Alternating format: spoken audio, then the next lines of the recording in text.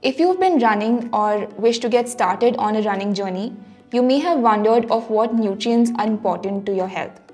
Now, one such nutrient of importance is magnesium. Magnesium plays a role in more than 300 biochemical reactions in your body and it is important for your heart health, your nerve and muscle function, energy synthesis and protein production. 50 to 60% of magnesium in the adult human body is present in your bones.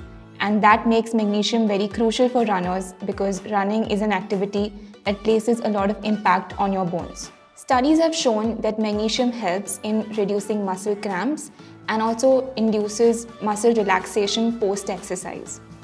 Now, it is best to get your magnesium from dietary sources. Some of these include chia seeds, pumpkin seeds, nuts such as almonds, spinach, whole grains and legumes. Magnesium supplements are also available in various forms.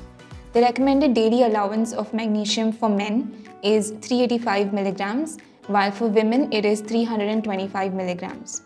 But even if you are consuming a variety of foods that contain magnesium, it may be possible that you may be facing a magnesium deficiency if your body is not able to absorb and utilize it effectively. It is best to consult with a doctor or a dietitian in order to understand what sort of supplements and the right dosage that is appropriate for you. Magnesium deficiency could lead to symptoms such as loss of appetite, weakness, and fatigue. So make sure that if you notice these signs and symptoms, you work on getting your magnesium levels higher.